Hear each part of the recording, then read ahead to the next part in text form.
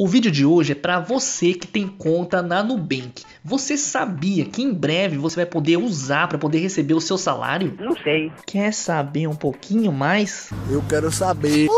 Então acompanhe o vídeo de hoje. Mas antes, pessoal, peço que vocês inscrevam-se aqui no canal Contabilidade TV. Faça com mais de 83 mil inscritos que já se inscreveram aqui no canal. Contabilidade, empreendedorismo, educação financeira, curiosidades e muito mais é aqui no canal. Inscreva-se aí, é muito fácil e é gratuito. Curta também a nossa página no Facebook, facebook.com.br contabilidade TV e siga no Instagram, arroba contabilidade TV Business. E para quem quiser seguir o meu perfil pessoal, arroba Leo Tira Oficial. Bom pessoal, sem mais enrolação, bora pro vídeo. Bom pessoal, o trabalhador que quiser utilizar a remuneração a partir de uma conta digital não vai mais precisar ir até o banco para pedir a transferência sem cobrança, já que o pedido vai poder ser feito diretamente na instituição não bancária. Michel Temer publicou um decreto que autoriza o Nubank a se tornar um banco oficialmente. Então os trabalhadores vão poder fazer uma nova escolha sobre o destino de crédito de seus salários a partir de 1 de julho deste ano de 2018 o Conselho Monetário Nacional acabou de regulamentar a transferência automática e gratuita da conta salário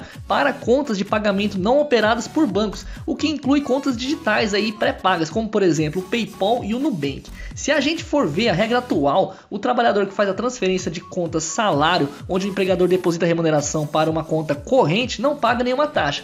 Mas em caso de contas digitais, como o Nubank e o PayPal, tem a cobrança de tarifa, como se fosse uma transação qualquer. Agora Agora, com as novas orientações do Conselho Monetário Nacional, esse procedimento vai ser 0,800, ou seja, totalmente grátis. Já aproveitando aqui o vídeo, eu vou falar também referente à portabilidade. O Conselho Monetário Nacional também aproveitou para alterar o procedimento de portabilidade, que passa a valer também a partir de julho. Assim, a pessoa que quiser receber o pagamento em sua conta digital poderá requerer a mudança da conta salário diretamente com o Nubank. Por exemplo, não precisando ir até o banco que utiliza até então. Com isso, todo o trâmite de encaminhamento dos documentos de cliente para concluir a portabilidade vai ser resolvido por qualquer uma das instituições envolvidas.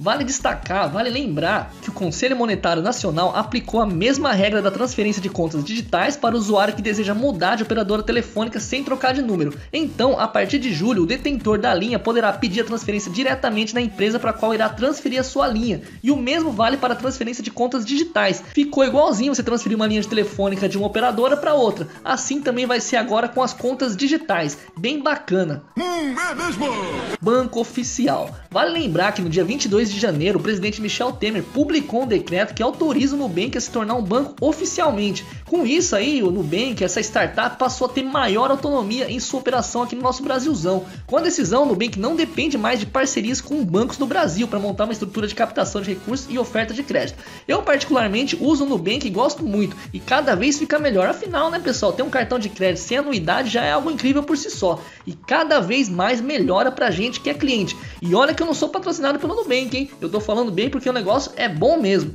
E você, o que, que achou disso tudo aí? Acredita que essas melhorias vai ajudar a gente que é usuário do cartão Nubank? Deixa aqui nos comentários. No final deste vídeo eu vou deixar um link do lado esquerdo para você conhecer meu outro canal, onde eu falo sobre coisas mais descontraídas. Afinal, nem só de assuntos financeiros a gente vive. Do lado direito vou deixar um link para você conhecer o canal parceiro Opinião Sincera. Você que gosta de automóveis, quer comprar um carro e precisa de uma opinião sincera para te ajudar, acompanha lá o canal, é muito legal. E no canto inferior um link para você poder inscrever-se. Agora sim, pessoal, tô indo embora. Que Deus abençoe a sua vida, pois se Deus não somos ninguém. E até a próxima.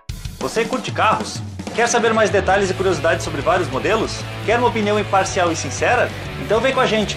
Nós somos engenheiros que não entendem nada de jornalismo e que somos apaixonados por carros.